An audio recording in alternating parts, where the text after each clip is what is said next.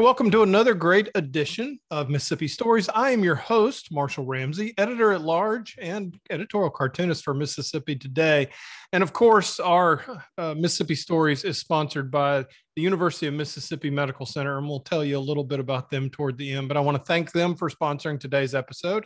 And, you know, this is coming out on Memorial Day weekend. And obviously, our guest today is still with us. So technically, uh, he it, was more of a Veterans Day program, but I wanted to have him on because uh, he's a guy that I've gotten to know a little bit thanks to a little bit of providence and a little bit of luck, and I've really grown to really like and respect him. And he's had an incredible career serving our country. And I wanted him to talk a little bit about some of the great things that he's been able to do, and some of the maybe the not so great, maybe smaller things as well. Um, Brigadier General Maxey Phillips is with us. He started, I guess, in the military in 1962, retired around 1999. I may have those dates off a little bit, but you've had a, you had a long and distinguished career that involved fighter jets and command and all kinds of fun things, and one turkey buzzard that I'm going to have you tell us a little bit about too. And uh, uh, before I get started too far, I heard you say this Saturday somebody referred to you as general and you said no it's Maxey that the general part was in my past. So if i say is it okay for me to call you Maxey absolutely. I prefer I, otherwise i might quit talking to you. Okay. Well you know i'm not going to argue with the general i mean wait with Maxey on that. So so anyway Maxey how are you doing today? I'm doing fine. I'm uh, you know pushing 82 and i'm just uh, blessed and fortunate to be able to uh, be in relatively good health for my age and uh, and enjoy life still. And and so I'm doing great. 82. That's uh, that's uh, you know, like I said, and you're you are you're up and about and you're getting going. And now you you said you joined the military in 62. Did you grow up in Mississippi? I did. I grew up in the uh, I guess what we call the the hill country of northeast Mississippi, and uh, more like Appalachia than down in the uh, Delta area. But yeah, I was born, raised there, uh, a little small family farm. You know, it's more or less uh, uh subsistence farming, and uh, went to school there. A little uh, school. most people have to look on the map to find it. Kossuth, or the folks not around there say it, call it Kossuth, but it's actually Kossuth. That's how the natives pronounce it. But uh, finished school there, went and then went uh, to uh, university at that uh, prestigious university in Starkville, Mississippi Excellent. State. Yeah, but that's where I, that's where I originated from. What'd you get your degree in engineering? Yeah, I, at Mississippi State uh, in aeronautical engineering. Okay, so you had you had airplanes on your mind at that point, anyway. Yeah, that began that that interest began in the cotton fields uh, when I was just a just a kid. You know, we lived under the traffic pattern of the local airport up there, the Roscoe Turner Field, and uh, I remember in the early days. I was I was born. I was the year before Pearl Harbor, so um, I was uh, had memories from before World War II. Had ended, and uh, a lot of uh, T6 Texans from a base, uh, training base over in Alabama, would come over and shoot approaches, takeoffs and landings at uh, at the little airport uh, there near Corinth, and I would see them fly over. And you know, you're familiar with the Texans, those big old radial engines, and it's just, and I'd be down there chopping cotton and look up and think, Lord, I I would much rather be up there than down here doing this. And that was mm, in my in my recollection, that is the earliest uh, thing that I remember being motivated uh, toward flying, and it just grew from there. But I never had any any uh, second thoughts about what I wanted to do. So you... I thought nautical engineering would be a good lead in to that, but and it was. I bet to say was. I mean, how did you? I mean, I, a lot of people don't realize that being a pilot is a lot more than just sitting in the cockpit and you know, you know, literally pulling the stick and hitting the rudders and so forth. I mean, there's a there there's a lot of math and science involved with it too. There, there really is. There really is. And if you don't, you don't have to have that kind of background, but it served me well. Um, when I went into pilot training after uh, after uh, college. Uh, uh, some of the guys are just a mixture of uh, my classmates. Some of them were business majors or ag majors or uh, teachers, uh, education majors. And when we hit the subjects of uh, aerodynamics, some of them really, really struggle. Matter of fact, I was I was assigned by the class commander to tutor some of those guys to help get through those subjects, which to me was very, at that point, was very elementary, you know. But to them, it was, it was Mount Everest. So uh, I helped them get over it. Did you do ROTC in college, or did you just go? Yeah. Yeah. So you came. Went, you yeah. So you came out as a first lieutenant. Second lieutenant. Second lieutenant. Yeah, that's right. But yeah, I went to the Air Force ROTC there at Mississippi State. Okay, and Got so that when when you signed up, I mean, where did you, where did you sign up? And I mean, obviously, you know, of course, and 62 is right, right? That's the year you went in. Uh, that was the year, yeah, I graduated and went into the Air Force. Yeah, the world so, was, yeah, the world was, um, lost your picture there for a second. Um, the world was, yeah yeah, the world was a little bit crazier at that point. I mean, we were looking at the Cuban Missile Crisis, and so we were in the height of the Cold War. So when you um, when you when you signed up, where did they begin with? Where did you do your pilot training, and then did you think when you went in, I want to get into fighter planes, or did you know what you want what you were going to get into? Well, ninety nine percent of the uh, the wannabe pilots wanted to go into fighters. You know, not all yeah. of us could or did, but that's that's sort of the dream, I guess. And uh, so that's I was in that group. That's what I wanted to do. I went to pilot training at uh, Craig Air Force Base and uh, just outside Selma, Alabama. Mm-hmm. Uh, it's been long closed now, but uh, yeah. that was that was where um, I met uh, entered active duty, met my 40 some odd classmates in my pilot training class from all over the country and um, uh, that's where it, that was 13 months of training before we earned our wings and uh, were ready to go on and into what we consider the real Air Force.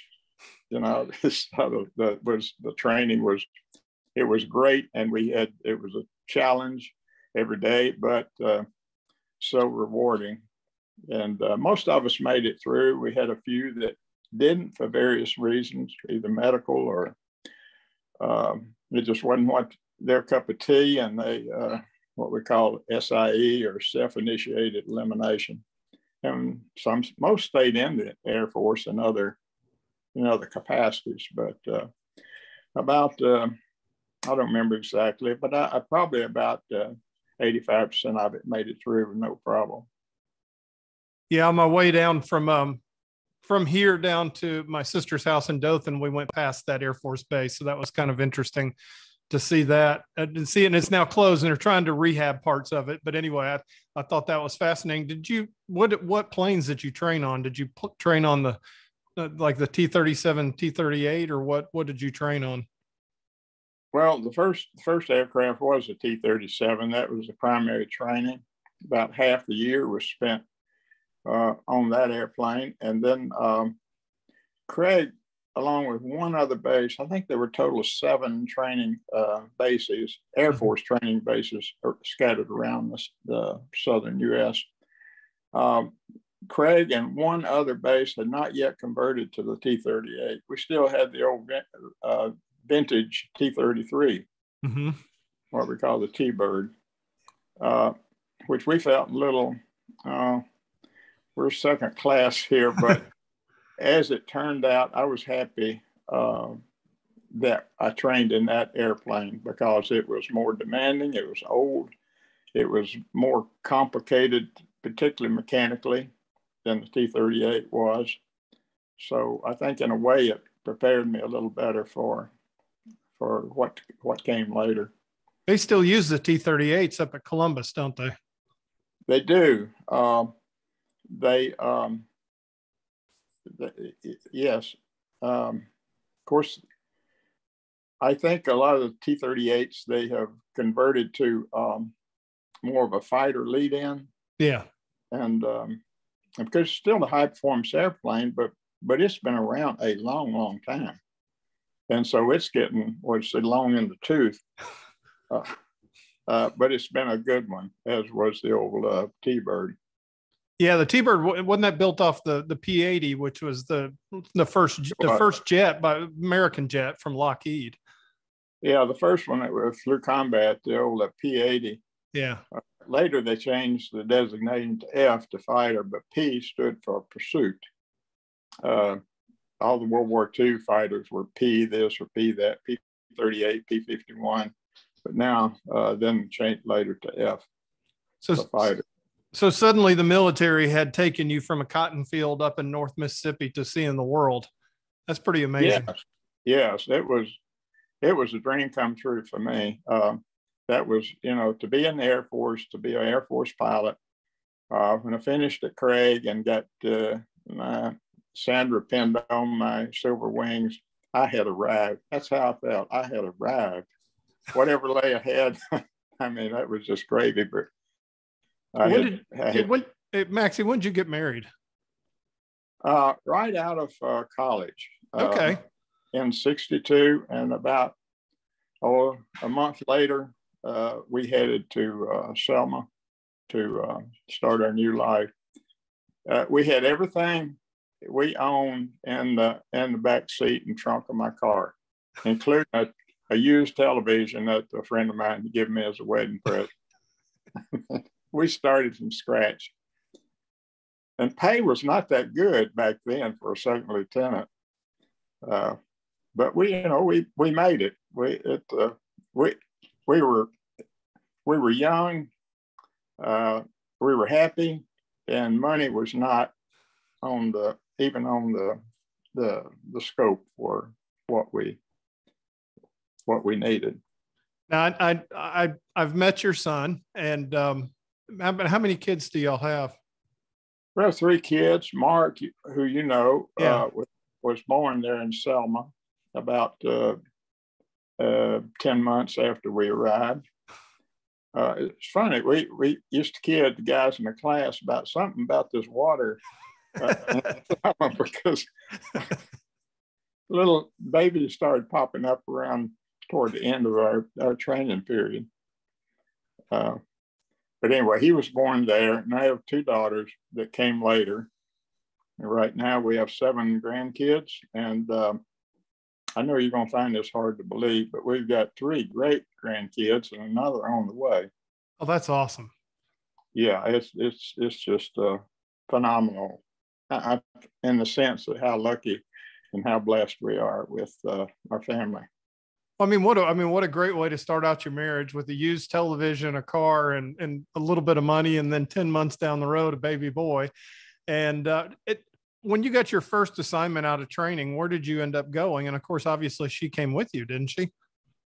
Oh yes. Uh, uh, there were, of course, we mentioned before, there were uh, a bunch of us wanted to go into fighters, but at the end of our training, what the way the Air Force worked it, uh, if there were 41 guys in our class, 41 assignments came down, and we were graded and ranked throughout the year. You got grades on your uh, mm-hmm. flying, on the check rides. You got grades on your academics.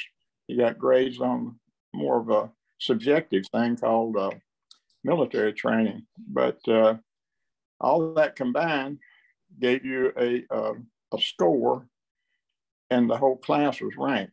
Top guy, when assignments came down, got his pick of 41 assignments. He could pick whichever one he wanted. Number two guy got 40 uh, picked from 40. On down the line to the last poor guy, there was one assignment left that had been picked over by all his classmates, and that's what he wound up with. So there was a lot of really competition within the, the class to, to finish as high as you possibly could. Um, so uh, the first, the, the list of assignments came down. There were eight F4s mm-hmm. to uh, MacDill Air Force Base. Um, and uh, unfortunately was high enough in the class standing to uh, get one of those. But they were to the uh, you know, the F4 is a two-place airplane, and they were all to the uh, to the to the back seat of the F4. But there were no other fighters. All the fighters went to the T-38 bases. The poor T, the two T-33 bases only could only the only fighter that was on the list was the F4. So uh, as it turned out, that was that was uh, we were fortunate in that regard too. Very fortuitous so, on that. But I mean, at that time, the F 4 was really the premier fighter in the Air Force and the Navy, I mean, as well. Well, yeah, the, at that time, the Air Force didn't even have the, their own F 4s. The training squadron I went to at MacDill uh, had borrowed about 20 F 4Bs on loan from the Navy. The Navy had had the airplane for a few years. Yeah. The Air Force F4s, the F4C was in production, but had not none had been delivered yet. So we trained in the F4B, the Navy uh, F4. and and yeah, and I know how well the the different uh, uh, branches would get along too. So that had to be weird flying around in Navy planes. Well, it, it, it was uh, in a, in a sense. One big difference was their refueling. Uh, they yeah. did refueling differently. They used what was called a probe and drogue.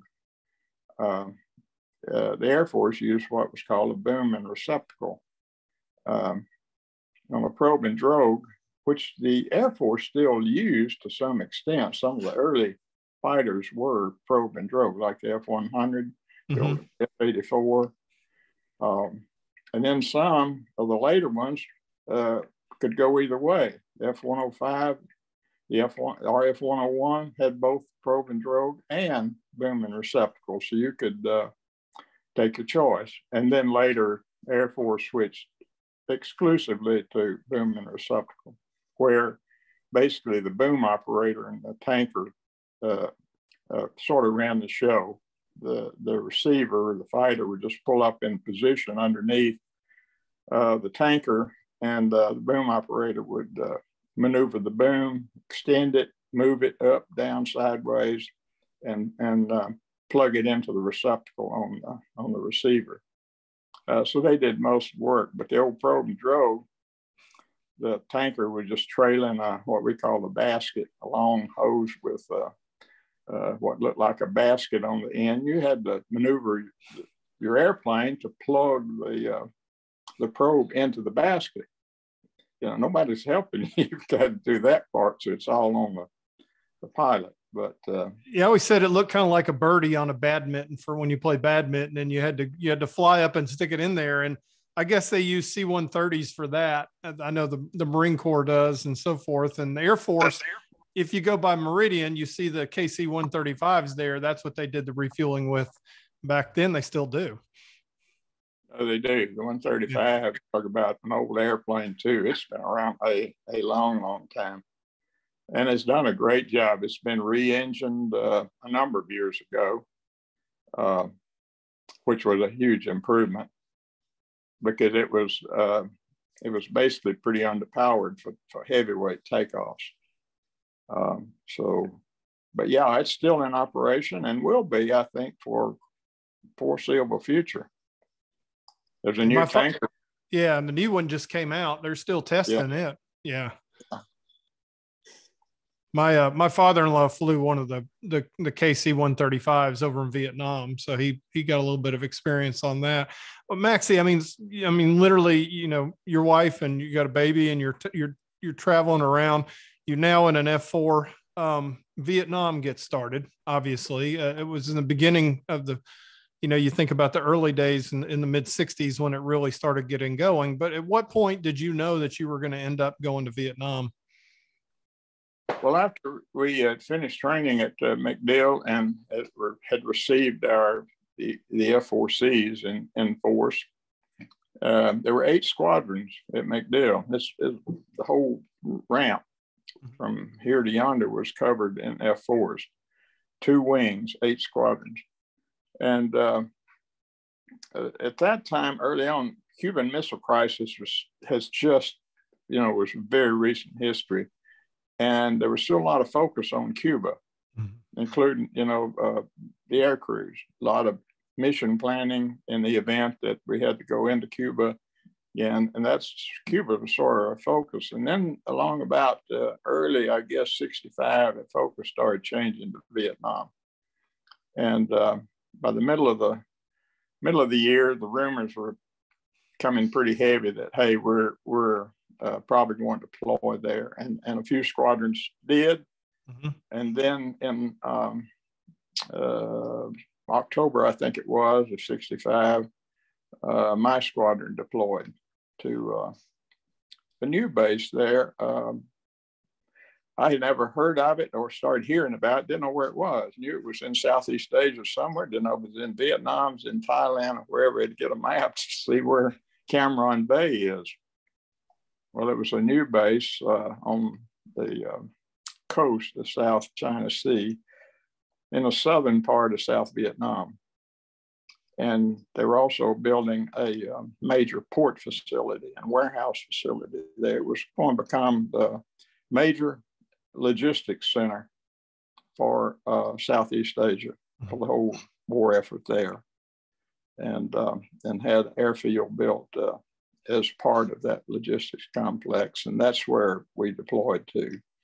Four squadrons wound up there as well as a lot of uh, cargo and uh, it was a busy it was a busy place. Yeah, um, I, I, would say that Cam Ranh Bay is a long way from Mississippi.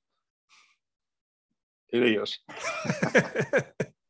Talk about that pro. I mean, that process. You guys had to fly literally. I mean, across the whole Pacific Ocean. I'm sure you stopped several places along the way. You get there. How long did the tour last? And how many? I mean, was it like World War II, where you had to fly X a number of of flights, a no, number of missions, or was there? Um, was it just for a, a calendar year uh, amount of time? Well, the answer is yes and yes. Okay. Um, it it uh, the tour for an air crew was either 100, uh, 100 missions over North Vietnam or one year, whichever came first. Okay. Well, for us, um, being so far south, we didn't get that many missions into North Vietnam because if you went any further than what we call the panhandle of North Vietnam, which counted as a, as a mission over North Vietnam, you had to have air refueling. Right. So most of the most of the missions over North Vietnam fell to the bases that were closer to North Vietnam, the the bases in Thailand, and the one uh, Air Force base at Da Nang, which was up near just mm-hmm. south of the DMZ.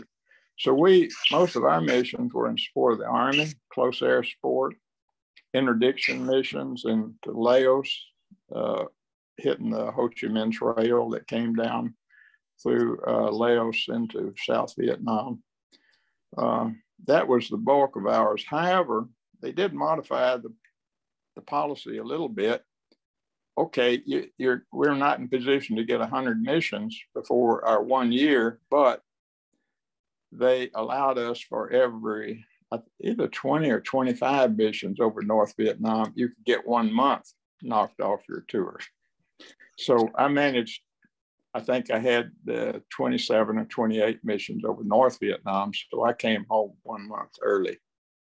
My tour was 11 months and not full year. 11 months is definitely better than 12, I would imagine. So, um, let me ask you what it was like. Cause I mean, you know, I mean, number one, I know on the F4, uh, initially they had trouble with it because it didn't have guns on it. You know, it, it had, you know, for dogfights, if it was dogfighting a MiG 21, which had, which was a nimble aircraft, um, it was, you know, you, you ended up having issues because sometimes you get in close and you couldn't deal with it because you'd had missiles. And also too, I know the surface to air missiles in, in Vietnam were historically uh, troublesome to say the least. You can ask the the folks in the Hanoi Hilton about that one a little bit. When you were flying in that 11 months, did you ever come under fire or ever have any real difficulty flying?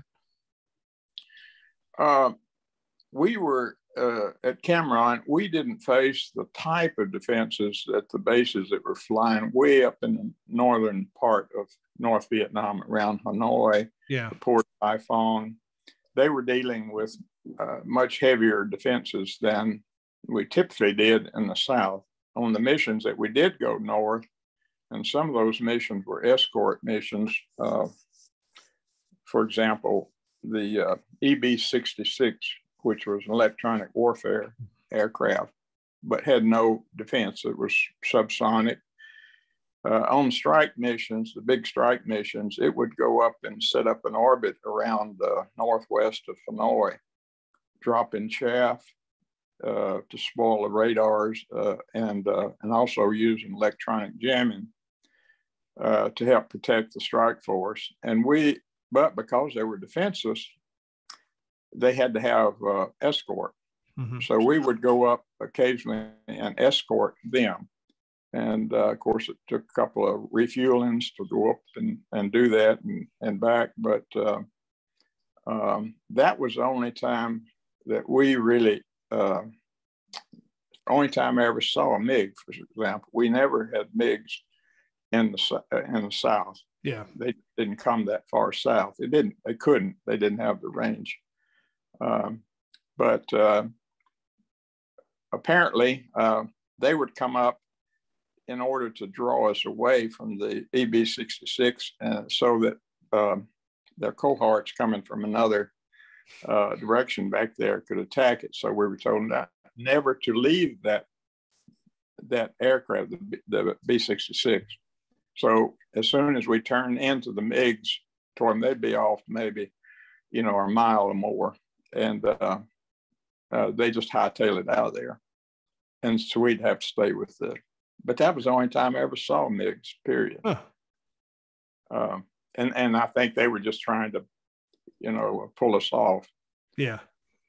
Uh, and and uh, although the, the SAMs were, were, were there, they were not in large numbers yet. Later, uh, yeah, it was much more of a threat, the SAM, the SAM threat and uh, and the poor guys uh, out of Thailand, uh, particularly, were it was it was a constant battle with them. And then they developed the uh, the the uh, SAM killers, the wild weasel, mm-hmm. they call them.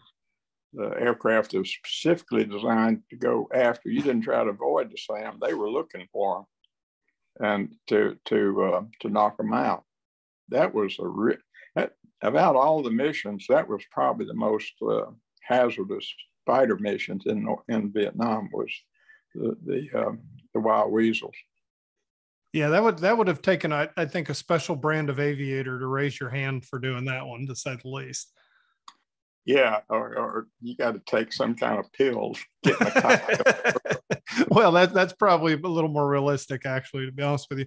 Maxey, what was it like? I mean, obviously we've heard what it's like in the air, but what's it like when you're on the ground? Because I mean, you weren't flying 24 7 every day. I mean, you were flying whenever you could get up or whenever the deal was. I mean, there was a whole lot of downtime too. What was it like being in Vietnam? Uh, boring. Yeah. Uh, we, uh, you know, I get we we complain about the living conditions. No, we lived in uh, forty some odd guys living in a small Quonset hut, uh, you know, double bunks and whatnot. But you know, and the food was, you know, uh, I got so so hungry for just some good fresh milk because all you're eating, you know, you had you're eating dried eggs and uh, reconstituted milk, which didn't to me didn't taste like it. But anyway, uh, we complained about the little things, but uh, but we knew we had it pretty good uh, compared to the army. Yeah. My brother, uh, my younger brother, was uh, went over as an infantryman about three years later, and his living conditions, he would have he would have thought he was in heaven to have had the accommodations that we had. You know, slogging through the jungle and and uh, for a week on end, but you know, living in the same clothes, never having a, a moment, not a moment that you were not under possible threat. Yeah. Uh, that was that there was no comparison uh, between their conditions and our conditions. Uh, but I tell you, one of the one of the um, really things that I treasure coming out of that when you live and eat and work with the same guys that you're living, you know, within um, uh, just a few feet of all the time, you develop a camaraderie that's just absolutely impossible to have that kind of camaraderie in any other occupation. I don't think. And then when you do lose someone, it is it hits pretty hard. But you have to, you know, you have to sort of, I guess, not become callous to it, mm-hmm. but you know, uh, the guy Jake breakfast with this morning, he's he's gone. Yeah. Shot down, didn't come back. Um, you got to press on anyway. I mean, uh, could have could have happened to me just as easily could have happened to him, and you know that. You, you, but uh, but you got to press on. Uh, but I think that's why those military reunions, old guys getting together years later, is that's why it is. Uh, that that bonding, that camaraderie that developed between, particular in, in a combat unit, um, there's there's a tie there that, that it's hard to it's hard to describe. It's hard to define, but it's there. And those we we there's one squadron we still we've got a reunion coming up uh, in about another week it may be our last one, but, but uh, just because of age and few, more and more find it unable to come or they've passed away, whatever. Yeah. But that's, it doesn't matter. It can be 50 years since you've seen each other, but the, the years just evaporate instantly and you just pick up where you left off. I would think it makes Memorial Day that much more special for you. It, you can you can appreciate Memorial Days in ways that I'll never be able to appreciate it. Yeah, I uh, um, I think about the guys. Even though we were in the South, we still lost airplanes. Yeah, uh, we lost through accidents. We lost them through ground fire because you're you're flying low, although fast. You're flying low and uh, close air support, and uh, for example, and uh, they're shooting at you with everything they got, small arms, but uh, we still lost lost some airplanes that way. And um, yeah, I I don't I have been to the Vietnam Memorial several times, and um, when I go there, if I'm with somebody, when I start seeing the names, in particular the names that I know, you know, it's like I, all of a sudden I'm alone yeah. because uh, I'm alone with those memories. They're so they're so fresh. It's like yesterday, and uh, I, I can I can see their faces. I can see them laughing. I can hear their voices as clearly. You know, I yeah. recognize them instantly. Uh, and um, one name on that on the wall is uh, really special. Is my uncle, uh, who was more like a big brother to me. He was. Uh, I was about halfway age wise between he and Dad. Yeah. And he was Army aviator. He was my ins- big inspiration to me. Wanted to be like him, and uh, and uh, when he when he was shot down in a Chinook helicopter uh, and killed, um, that that that really hurt me. Yeah. And um, and I see his name, hey, all bets are off. Don't talk to me. I can't talk. Yeah. What's what, what was his name so that next time I go up there I can look for him? William Russell Phillips. Okay. Uh, we call him Uncle Russell. Yeah. And he left he left a wife and five kids. Wow. The, the oldest of which was 16. Yeah. Um, and that family, I mean, that loss, I mean, it's been decades and decades, but that loss still reverberates throughout that family. Um, How so? Yeah.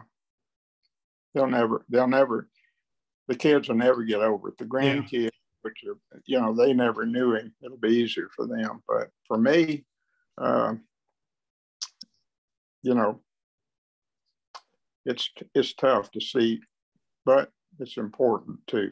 Yeah, definitely. This is something that I cherish that you gave me. I'll try to hold it up here.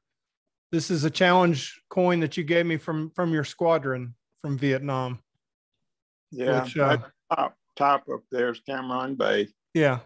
Over to the left is MacDill Air Force Base, and the other one, which I never was there, Phu Cat, mm-hmm. is another base in in South Vietnam, where uh, elements after I had left Cam Ranh, some elements of the uh, of that wing uh, deployed to uh, okay. They're flying out of both places. I think so Cam Ranh gotten so busy it was hard to uh, yeah. one runway uh, to uh, to accommodate all the traffic. It was like flying in and out of Hartsfield, I would imagine. Almost. Yeah. so this was from 1962 to 1971. So, and you did, you, how many tours did you do in Vietnam? Did you do just one? I just did one. Uh, when I left there, um, I was assigned to a fighter squadron in uh, England. Okay. I stayed there for four years until 1970. And uh, your family got to come with you on that one, right? Yeah. Yeah. Okay. Mark, uh, he was still a, he was um, what, two or three, three, I guess, then. And uh, yeah, so he, he grew up. We had uh, our first daughter came along, born there, and uh, which, by the way, uh, made her a British citizen. a British birth certificate, and she could, if she wanted to claim her British citizenship, she could to this day, but uh, she's decided not to. Um, Does she cry yeah. with the British accent? no, I uh, I don't know. I guess because she was in our household, uh, yeah. we didn't she didn't uh, pick that up too much, nor did Mark while he was there. Yeah. Did you fly the F four over there also? Yeah. Yeah. The mission was very different uh, there. Uh, there were there were quite a number of fighter units, U.S. fighter units in Europe. Uh, un, uh, several several uh, bases in Germany mm-hmm. and uh, and in England also. And uh, our mission was a nuclear strike. Although we maintained capability in all the conventional yeah. weapons deliveries, because it could, if you know, the Soviets were the big threat. The Warsaw Pact uh, in Eastern Europe was, uh, so that was what that was what we uh, uh, and for a fighter with a limited range, it's not a B 52 that can go. Uh, our, our targets uh, that we set alert on were all in Eastern Europe, not in the Soviet Union. Uh, well, per se. Uh, the Warsaw Pact was not part of the Soviet Union, but uh, that's where most of our targets were in Poland, East Germany, Czechoslovakia.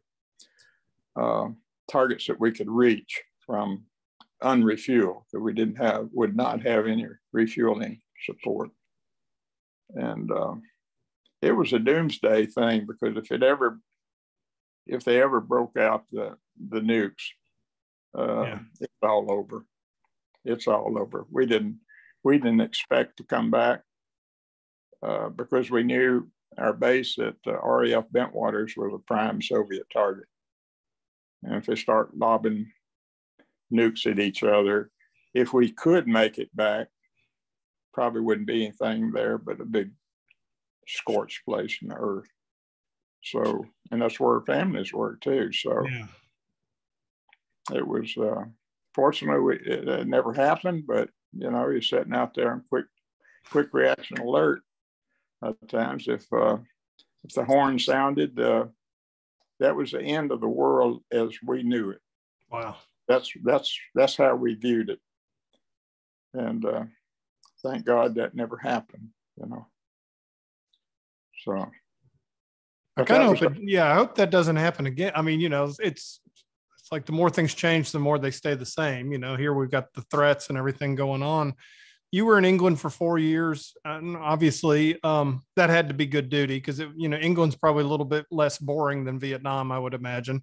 Uh, getting to see the, see that, it was great for your kids to kind of get a taste of of of of a different part of the world a little bit. Where did you go after you left England?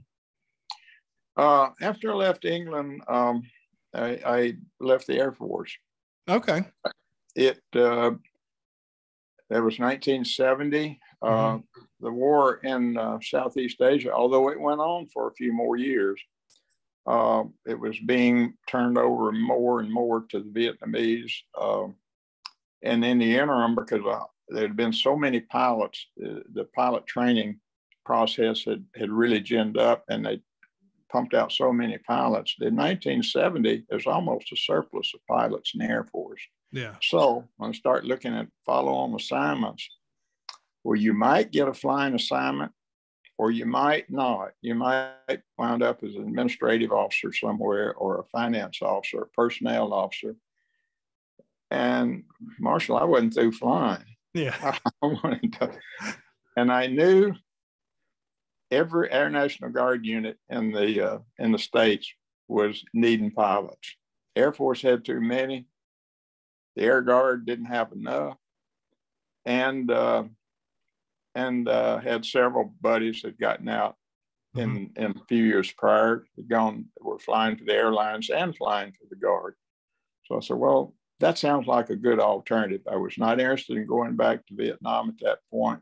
The main reason being aside from leaving family for another year, was it was had become quite obvious that the U.S. was looking for an exit door.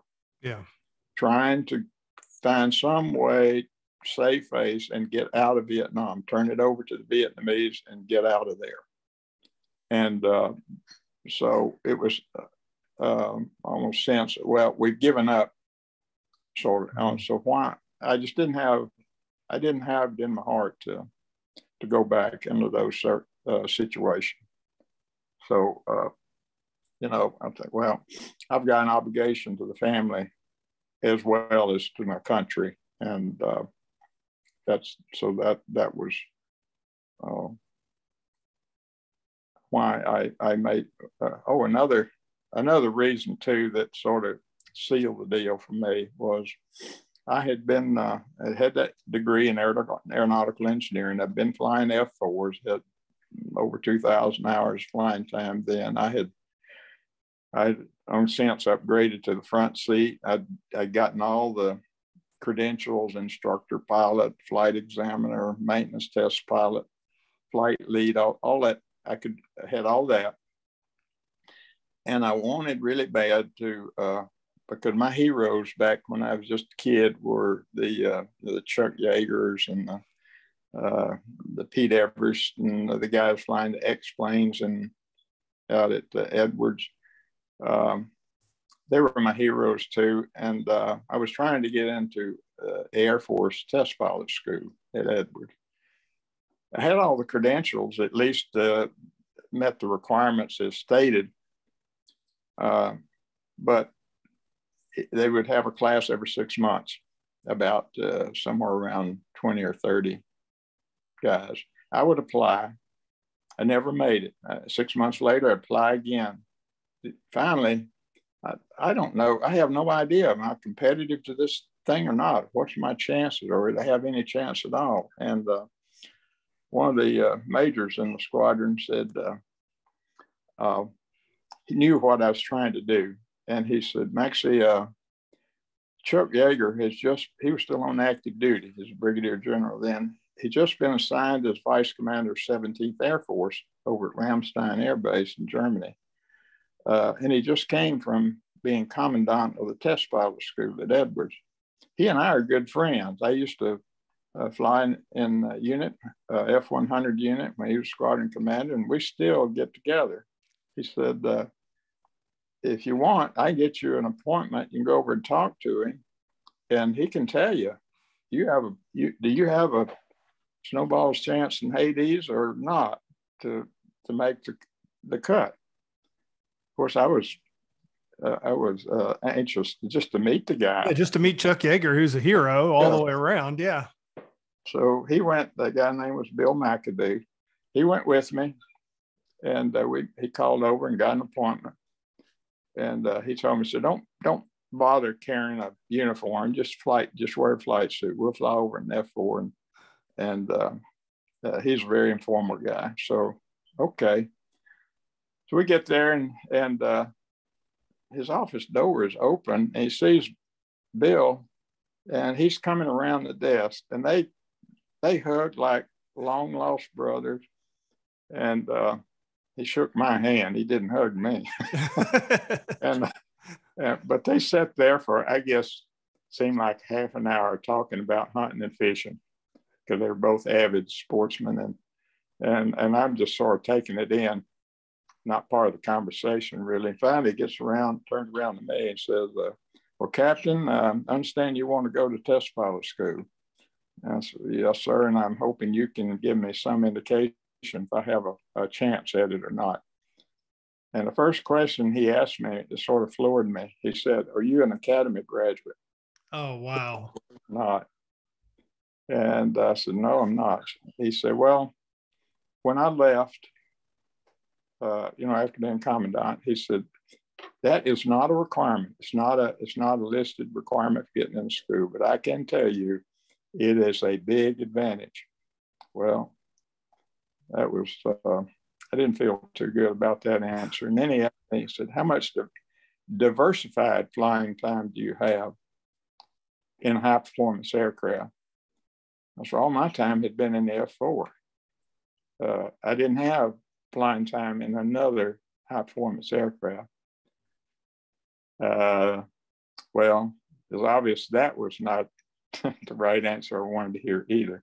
And his last answer was, uh, uh, do you have an advanced degree, i.e. a master's or above, in engineering or one of the technical sciences?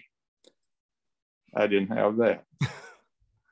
and uh, the max age for entrance in test pilot school was 29.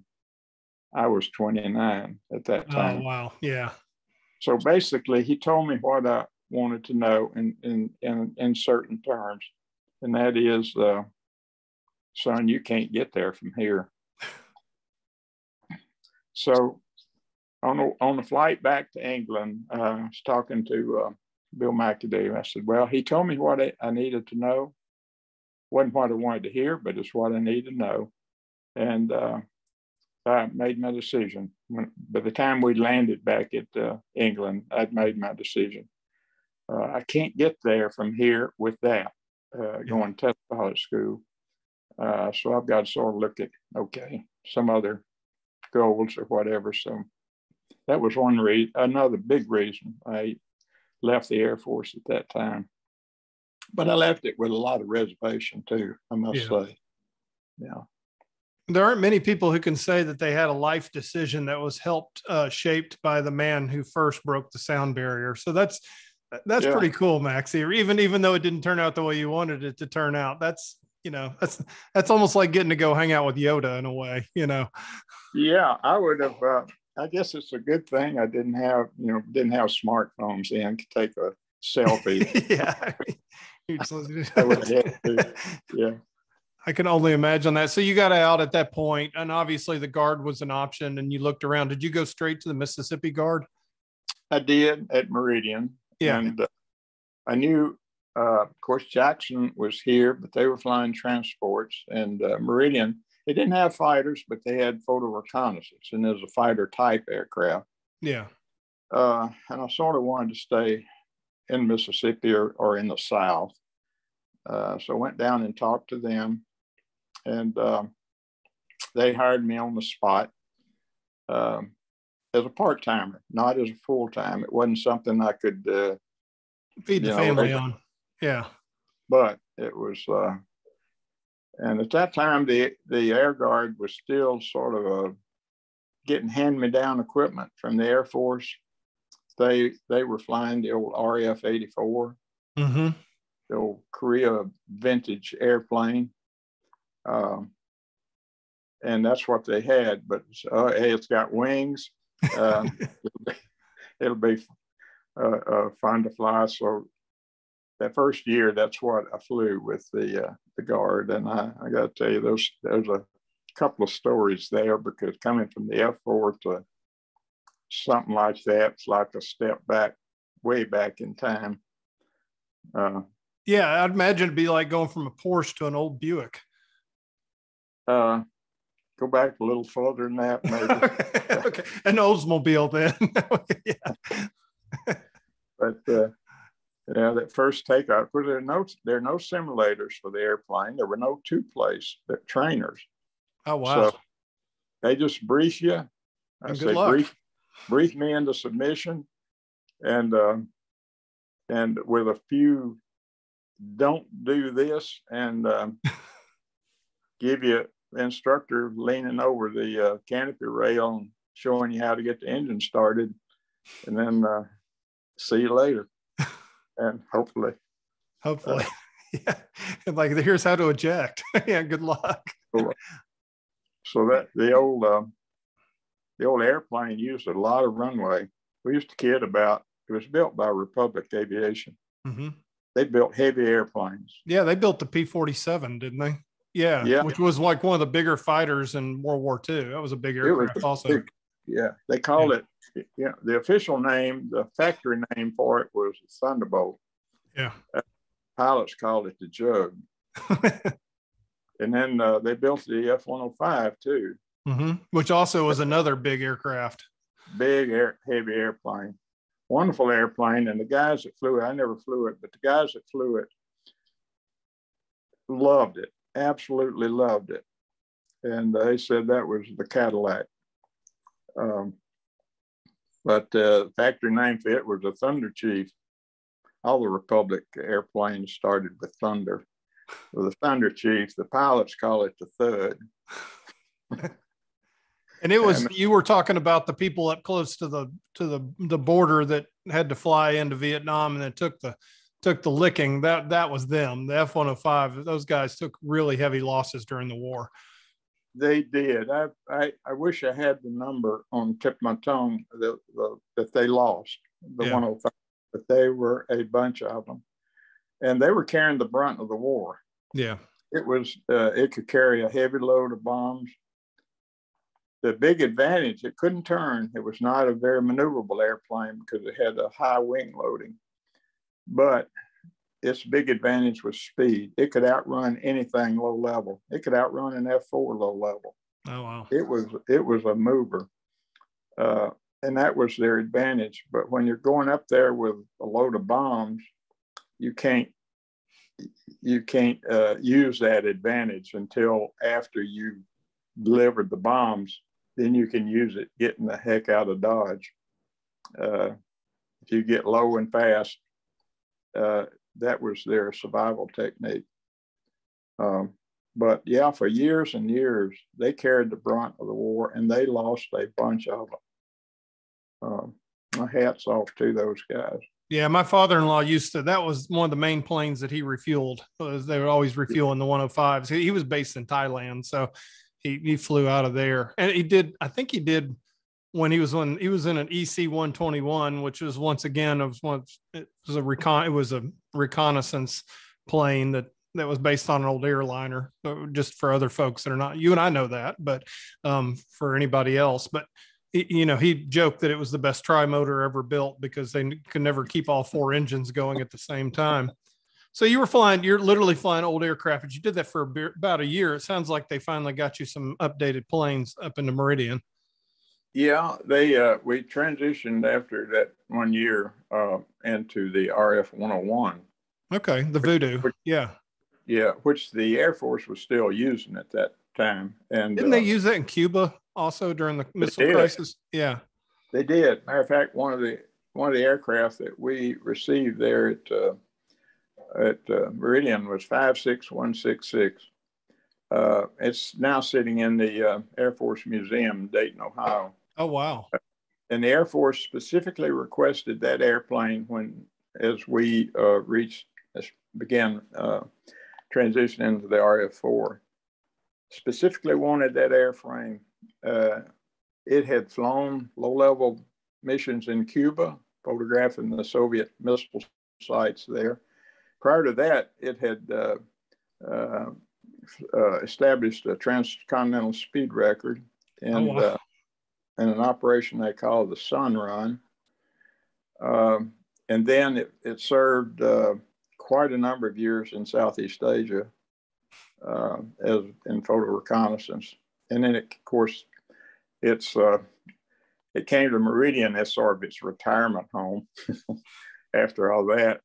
But when it when it was time to uh, uh, for us to convert to RF4s, the, the, Air Force specifically requested that airframe for uh, for the museum because of its history. Yeah.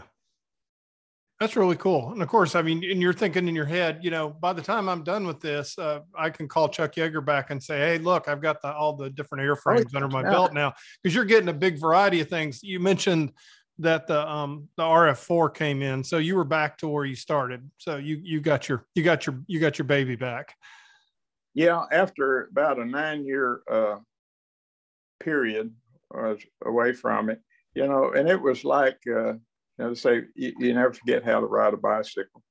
Uh, it'd been a long time since I'd been in it. Now, obviously, it's a different model. It's an RF4. It's, it yeah. doesn't have uh, some of the same instrumentation on the instrument panel. There's no bomb control panels or anything like that. There's now you've got uh, a big viewfinder in the uh, and um, and uh, camera controls, which most of them, most of that is run by the uh, guy, the back seater.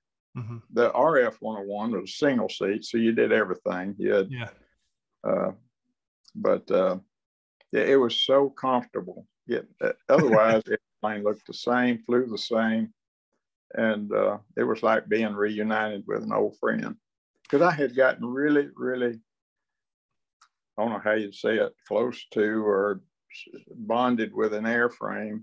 Um, and by the time we lost, we, I left Meridian to come over to Jackson. Uh, I guess I had about 3,500 hours in in the F4 type aircraft, the F4C, D, yeah, RF4, and even a little time in the F4Bs at the very beginning. Uh, so, yeah, I really, uh, I, I can't think of the how he put it now, but Ernest Hemingway had a quote about how a pilot can become attached to uh, an airplane. It's sort of like a, a romantic involvement. uh, but it's it's true. It really is true. Um, and that that's the way, even though uh, been a long time, that's the way I still feel about that airplane. Uh, and uh, you know, I travel, I travel a long way to see one fly again. Yeah. And it, it had a distinctive sound. It howled when it was in the traffic pattern. That's the only way I'm described it, howled. Uh, and, the, and to listen to that was just to bring tears to my eyes now. Do they still, uh, did, I mean, I know they, um, they still use them as drones occasionally. Um, I think at this point they may not even do that anymore. They did. They don't. They don't. Yeah. They uh, they used them. I guess they used them all. Oh, okay. now they use an F-16s mm-hmm. as drones. The older older uh, models, the A models. Yeah. So, well, the, the F4 is the one that, you know, brought you to the dance, but it's the one where almost you checked out of the dance too, um, which was one of my favorite stories of yours that you were flying one day and uh, had a close encounter of a very uh, uncomfortable kind with a turkey buzzard. Um, and, and I got to draw that. I was really that's how we met, actually indirectly, but yeah. I got to draw that moment. But you're you so you're flying in Louisiana, you're low to the ground, you're doing around 500 miles an hour, and you get hit by bird strike. And I don't think most people realize how serious bird strikes were until Sully had his encounter over the Hudson, you know, over New York and landed. I mean, a bird will literally take a plane down, especially one that big and that it just about did you in, didn't it? Yeah, uh, I'll uh, just. I, I, heard you mention something about that. Let me uh, sort of correct you a, little bit. I was that's fine. I was in the back seat when that happened. Okay. I, I was instructor pilot. Our wing commander, uh, Colonel Bill Pittman, was getting a home station, what we call a home station checkout in the in the RF four. Yeah. And uh, and I was had been assigned as his instructor. And we'd known each other for a long time. He was my instructor in the RF 84. He's the one that leaned over the canopy rail and showed me how to start the engine to the darn thing. Anyway, uh, so we sort of reversed roles then. Yeah. But um, uh, we'd finished the, the uh, transition part of the checkout and was in the tactical phase where he's, we're flying uh, training missions, uh, uh, photo reconnaissance training missions at low level, which is where uh, normally you did most of that work. and we had we'd scheduled two missions. one that morning, we'd land at England Air Force Base in Louisiana and then fly one back to Meridian. And we'd taken off from, uh, like I said, I was in the back seat, taken off from uh, England Air Force Base down near Alexandria. And uh, we're eastbound over the uh, Atchafalaya swamp. You know, cypress trees were mm. zipping by underneath us. We were uh, 480 knots, which is over 500 miles an hour.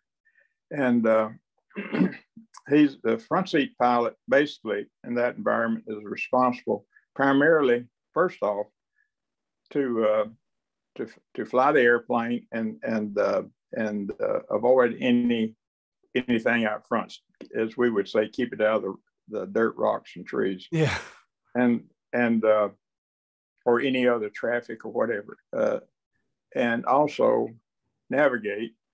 And the backseat pilots is responsibilities help navigate too and run the cameras. Mm-hmm.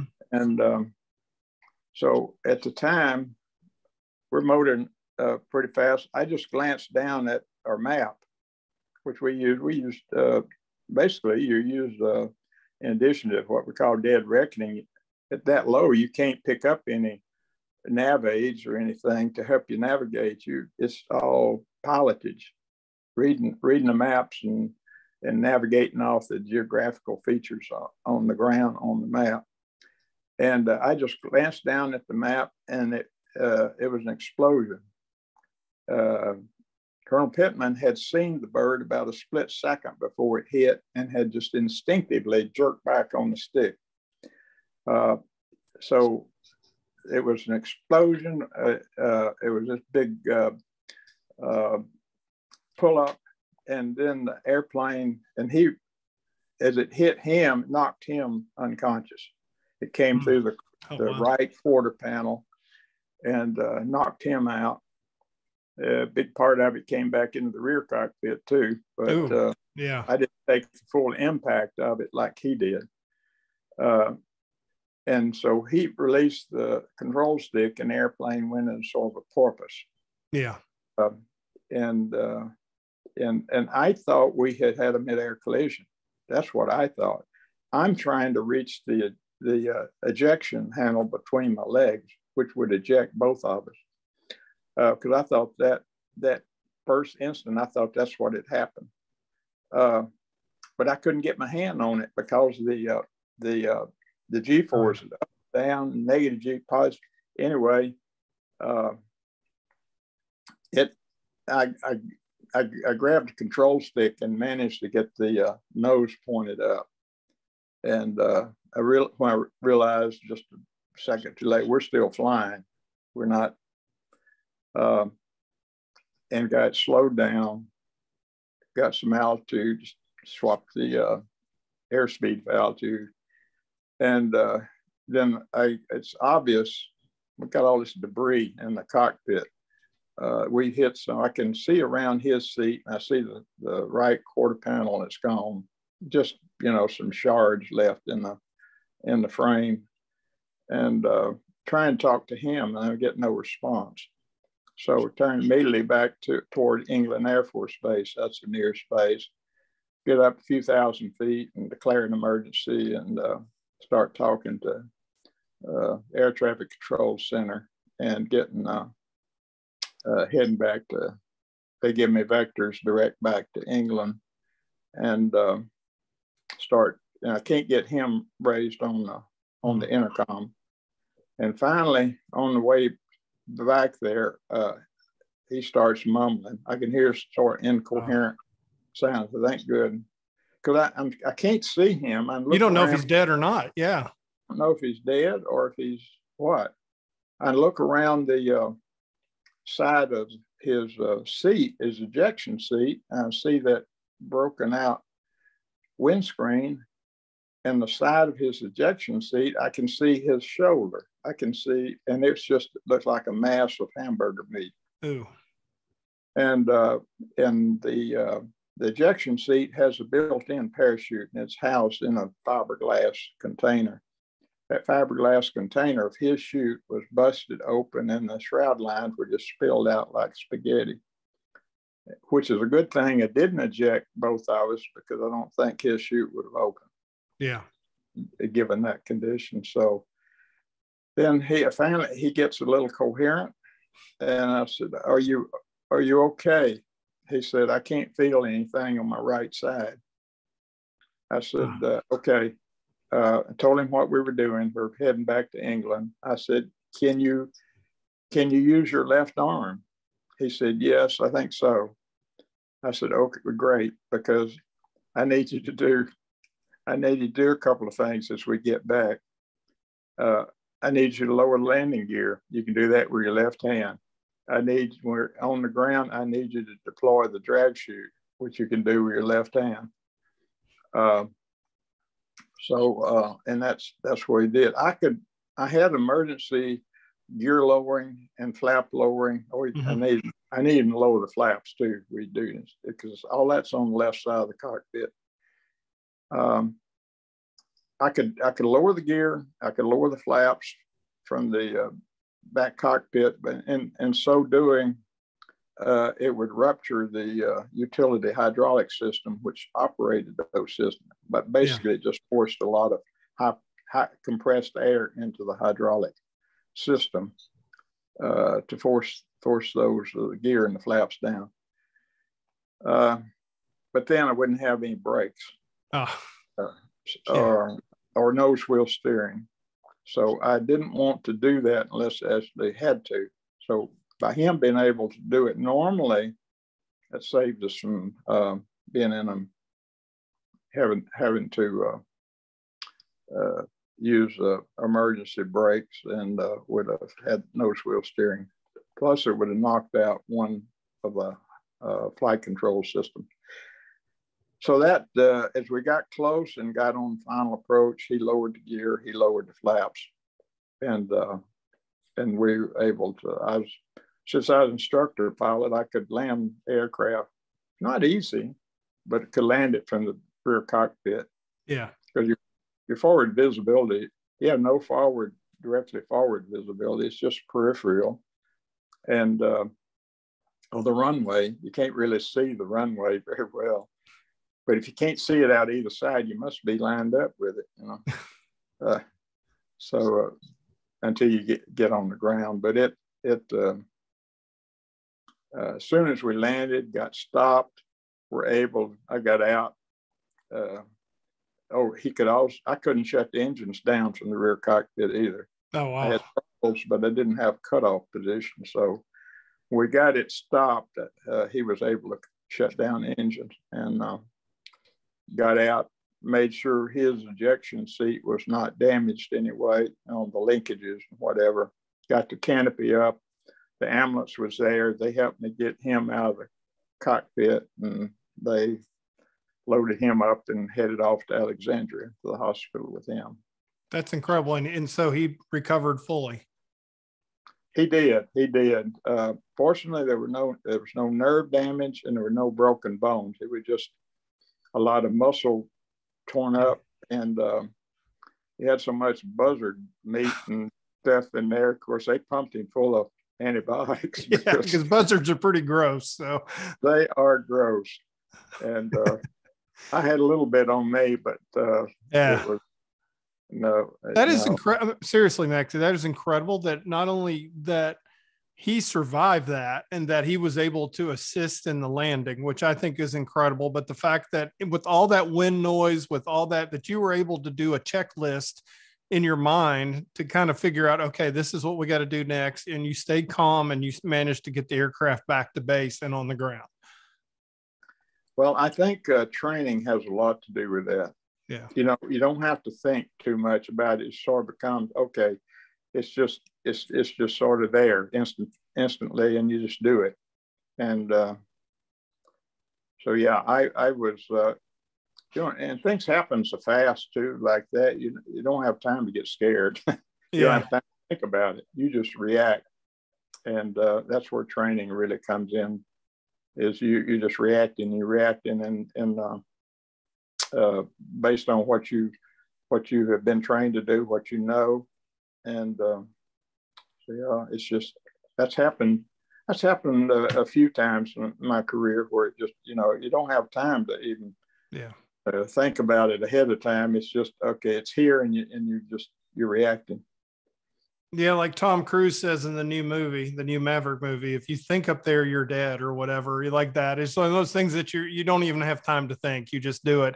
And also too, and I will say this about the the new Tom, not to promote the movie, but the new movie, one of the one of the plot points on it is the fact that Maverick has done everything in his power to keep flying, which means he's turned down promotions and everything else. And I mean, you you obviously go join the National Guard so you can continue, so you don't end up flying a desk on that. But but that time did eventually come, and you ended up as the the the the command the commandant the commander of the 172nd uh, here in Jackson, and uh, which is one of the top. I mean, it's one of the top airlift groups in the in the country. They've they've just the history of that place is I mean, it's it's really renowned. All the some of the great things that come out of there. When you were there was when when you were there in the late '90s. Uh, you were a colonel at that time, and you, we that's when Sonny Montgomery helped get us the C-17s, and that was a big moment in the 172nd's history. Yeah, I came over in '90 as the vice commander, and then um, three years later, I became the the wing commander for another three years, and. Um, I'm so proud of that unit. Mm-hmm. That was uh, it, it was a big change for me in mission. Yeah. And, I, and I knew very little about the airlift mission, but the more I was involved in it and, and understood it, the more appreciation I had uh, for what the job they did. We had, uh, at that time, we were flying the C 141. Yeah. Which there again, they, that airplane had been in service a long time. It too was getting uh, a lot of uh, age on it. Um, and uh, one of the units there, uh, in addition to the, the pilots, navigators, load masters, and flight engineers, and was uh, a medical evacuation squadron. Mm-hmm. And particularly when the Gulf War started, uh, back uh, those those folks, the nurses, the med techs, doctors, did a heroic job. Yeah. Again, I wish I had the number on on the tip of my tongue, but it's in the thousands of the number of uh, GIs that were airlifted. I mean, injured, wounded, mm-hmm. airlifted out of uh, back to the states by uh, that squadron out here at the base. Uh, it it it was amazing. That's one of the truly, um, I think, heroic things that uh, this this unit did. In addition to hauling all the cargo, you know, yeah. tons and tons and tons of cargo over there, and uh, I'm so proud of that unit. But yeah, like you're talking about toward the, uh, I guess about uh, somewhere around early 90s, uh, started thinking about well, what, what's going to be the follow on aircraft? This 141 is not going to be around forever. And uh, the Air the Air Force had started just started getting the uh, C-17s. Well, that's if we want to stay in the airlift business, that's that's what we need. Well, the Air Force, the active duty Air Force, was holding very tight to their chest. They didn't want to share any C-17s with the Air Guard. They just didn't.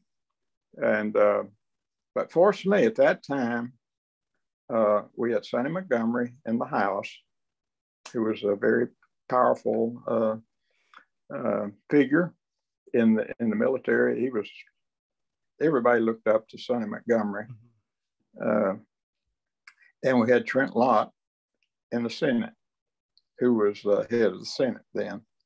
So we had that kind of horsepower in DC, and we uh, got everybody on board, uh, including the adjutant general here in Mississippi, and uh, to lay down to our congressional delegation this is what Jackson, the 172nd, needs to keep it a viable unit far into the future. And uh, once we had them sold on that, they went to battle with the Air Force. And, and you see who won. Yeah. so so the 172nd then I didn't ever uh, my time was up at the 172nd before we before we got the first C-17s, but we got the we got the thing in in motion. We got the train moving that way, which uh, which brought the airplanes, and uh, and now they've been out there for quite a long while. They have, and I mean they've they have definitely you uh, almost run the wings off of them going back and forth during yeah. during Afghanistan and Iraq, and you know they continued that same mission of, of medical evacuation and and did it really well. And I mean, and I like I said, I I spoke to a former loadmaster out there over the weekend in Madison when we were at the air show, and he was he was telling me about some of the exploits and back in the day and so forth. And so I've just have always been really uh, proud that that's that they're located here in Jackson. So, and it was kind of neat that you got to be in charge of that, and that was that was your your your swan song, wasn't it, for your career? Uh, yeah, it was. I, I spent a couple years after that at, at state headquarters, but I'll tell you, the further I got away from operational flying unit, the less I enjoyed it. yeah, I mean, it was just that was my bread and butter for a long time. It's what I loved doing. And so, uh, in addition to my family, I am so feel so fortunate to have been able to do uh, something I enjoyed so much. Did, did any uh, of your kids follow in your footsteps? Uh, Mark, sort of, kind of. Uh, he he uh, he went in the Air Force. Well, actually, he joined the Air Guard at Meridian in his senior year in high school. Oh wow! And uh, and and served uh, in the, as a photo interpreter. Yeah. Uh, for uh, the five years that he was in in um, in college, it took him five years because he kept changing his majors some. Yeah, I but, understand how that works. Yeah. yeah, but anyway, after he uh, graduated from uh, Southern and had his degree, Mm-hmm. Uh, he wanted to go in the Air Force, went to uh, officer training school, they called it then, got his commission, and um, wound up uh, in the uh, public affairs mm. uh, career field, which he loved. It was his niche. Um, it's amazing how I, I remember Mark, he initially started off in some other areas in the Air Force. Um, but when he finally found public affairs, um, he loved it. And I, uh, I remember him telling me he was 30 or over. He said, Dad, uh, finally found what I wanted, what I've been awesome. looking for. Yeah. Maxey, thank you so much for joining us today. I know um, we've taken a bit of time, but I've just, I love the stories and I always love talking with you. Well, it's coming up on Memorial Day and um, it's special it's a special time, and yeah. um, I'm glad we had a chance to talk and a little bit about what uh, what those guys, the one we should be honoring on Memorial Day. Amen. Thank you too yeah. for sharing the memories of your uncle and and um, you know of all the your squadron mates that that didn't make it back. And I know, you know that that's obviously something that gets on your mind this time of year. And thank you for sharing. Well, thank you, Marshall. Oh, you're welcome. And I'm gonna read this little um, little quick ad here real quick and then we'll we'll say goodbye. How's that sound? Okay. Okay. Well, the University of Mississippi Medical Center, who very kindly sponsors today's Mississippi Stories, is the state's only academic medical center. Its education, research, and health care missions share the objectives of improving the health of the state's population and eliminating health disparities. It's located here in Jackson. UMMC encompasses seven health science schools, including medicine, nursing, health and related professions, dentistry, pharmacy, graduate studies, and population health. The medical center's health and enterprise include the state's only level one trauma center, only children's hospital, and only organ and bone marrow transplant programs. The medical center is home of the Telehealth Center of Excellence and one only one of two in the nation. For more information, you can visit www.umc.edu. Maxey, I hope to run out uh, run into you again. Either we, you've come to the coffees at Broad Street, and I want to thank you for doing that. And also, too, uh, it was great just seeing out you airport the other day at Madison Airport for the open house for the commemorative Air Force because that was just fun getting to hear all the speakers and and getting to be around the planes. And I know, yeah. How, yeah, really was. There were some great programs for there too. So, I mean, as you can tell, even though I do tend to get some of my facts wrong sometimes, um, I love aviation and I've just loved talking to you today. Well, thank you. Pleasure's mine, Marshall. All right. I'll talk to you soon. Thank you. Thank you again. Thank you for watching this episode of Mississippi Stories. Make sure to subscribe to the Mississippi Today YouTube channel and click the bell to be notified every time a new video uploads.